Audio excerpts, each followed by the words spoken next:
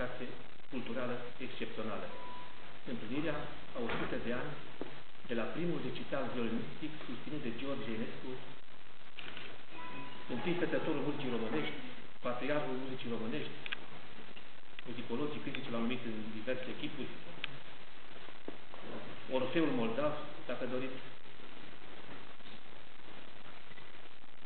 În urmă cu 100 de ani, la Lugoș răsunau acordurile Ciaconii de Johann Sebastian Bach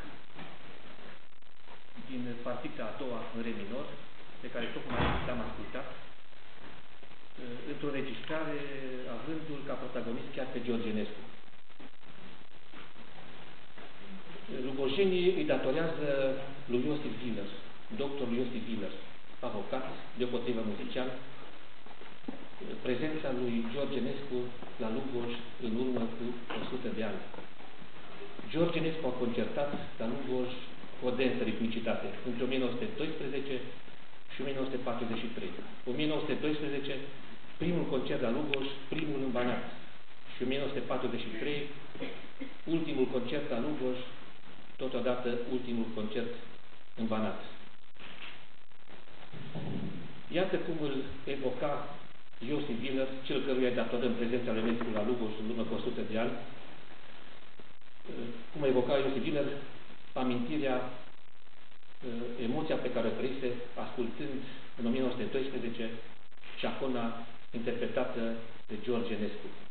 Și vă citez un mic fragment publicat de Iosif Giller în revista Muzica, uh, apărută în 1955, numărul din mai, la puțin timp după moartea lui George Enescu. Vă citez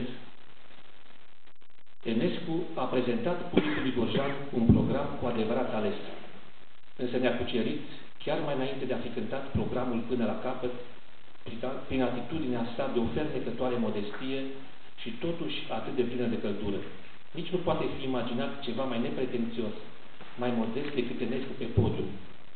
Fracuzat, ghete, cămașă simplă.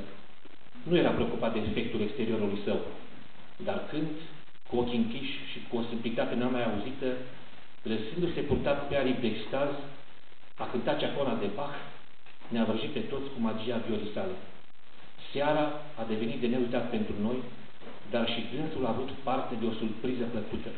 În timpul pauzei, l-am condus într-o cameră rezervată special pentru acest scop, în care îl așteptau compatrioții ai săi, în frunte cu un Vidu. Ce au discutat, nu știu nici astăzi, căci nu mi-am tulburat discuția, am încheiat citatul. Iată o mărturie emoționantă al lui Iosif Wiener, consemnată în revista Muzica, publicată,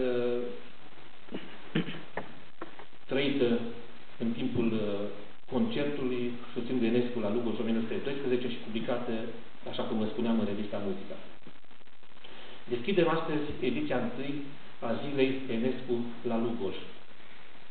Dimineața a avut loc un eh, simpozion în care am vorbit pe larg despre George Enescu și peregrinările sale artistice aici la Lugoj, așa cum vă spuneam, între 1912 și 1943.